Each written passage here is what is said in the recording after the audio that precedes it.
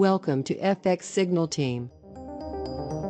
FX Signal Team is presenting you four effective trading indicators that every trader should know. These four indicators are Moving Average, Relative Strength Index, Slow Stochastic, Trading with the Moving Average Convergence and Divergence.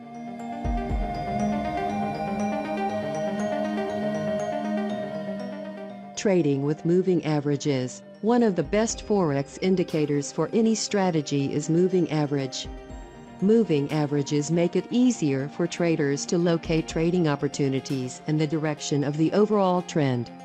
When the market is trending up, you can use the moving average or multiple moving averages to identify the trend and the right time to buy or sell. The moving average is a plotted line that simply measures the average price of a currency pair over a specific period of time, like the last 200 days or year of price action to understand the overall direction.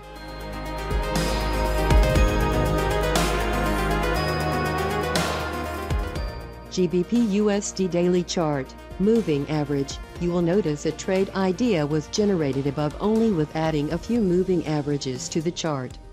Identifying trade opportunities with moving averages allows you see and trade off of momentum by entering when the currency pair moves in the direction of the moving average and exiting when it begins to move opposite.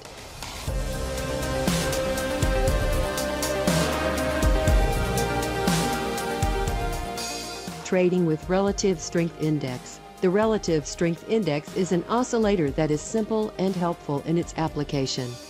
Oscillators like the RSI help you determine when a currency is overbought or oversold, so a reversal is likely. For those who like to buy low and sell high, the RSI may be the right indicator for you.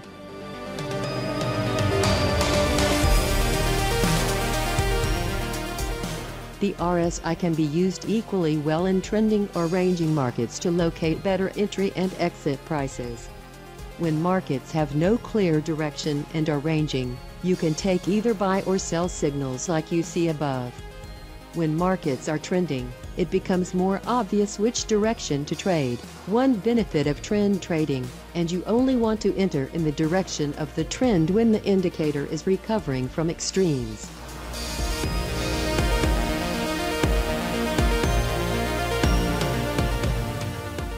Because the RSI is an oscillator, it is plotted with values between 0 and 100.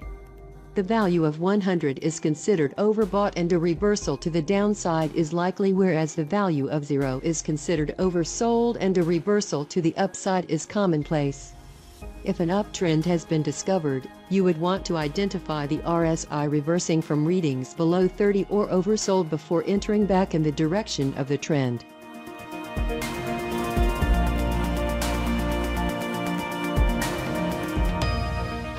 Trading with stochastics. Slow stochastics are an oscillator like the RSI that can help you locate overbought or oversold environments, likely making a reversal in price.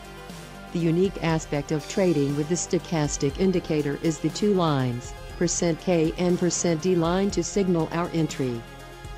Because the oscillator has the same overbought or oversold readings, you simply look for the percent %K line to cross above the percent %D line through the 20 level to identify a solid buy signal in the direction of the trend.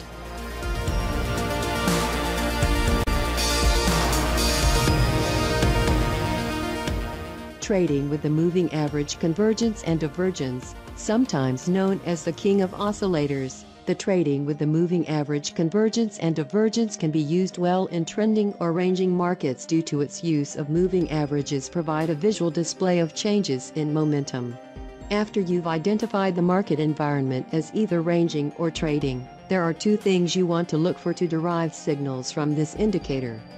First, you want to recognize the lines in relation to the zero line which identify an upward or downward bias of the currency pair.